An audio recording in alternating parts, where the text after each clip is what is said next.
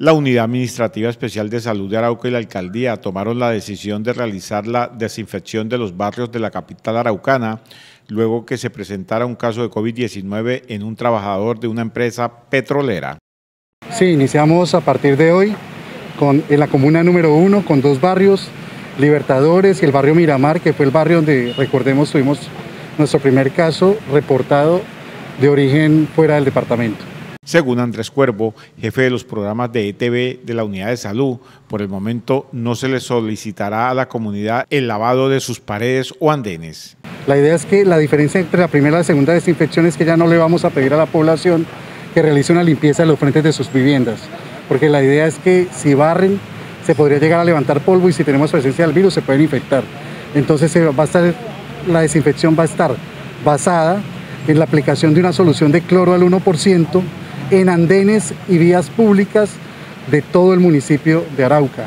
Iniciamos con la comuna número uno, nos vamos a demorar entre dos y tres días por comunas y pues la idea es contar que la población deje la vía despejada para que puedan pasar los camiones, el vacun y el carro tanque de 13 mil litros de solución de cloro. Para poder realizar esta desinfección se han unido tres entidades del departamento de Arauca. Sí, es importante resaltar tres entidades principalmente, la gobernación de Arauca a través de la unidad de Salud, la Alcaldía de Arauca a través de su Secretaría de Salud y la empresa de Encerpa.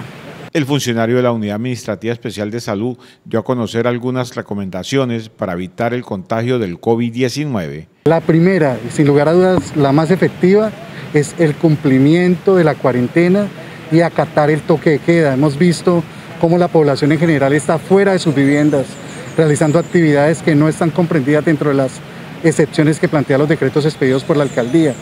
El otro es el lavado de manos una, una vez cada hora y el distanciamiento social.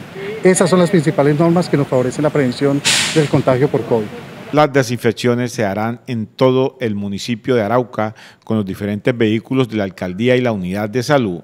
Se va a hacer en todo el municipio de Arauca, sí señor. Nos vamos a demorar aproximadamente dos semanas realizando este proceso. Durante el lunes y martes se hará la desinfección a los barrios aledaños donde se encuentran los trabajadores de la empresa petrolera aislados.